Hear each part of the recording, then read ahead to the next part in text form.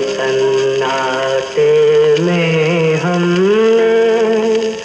क्या क्या धोखे खाए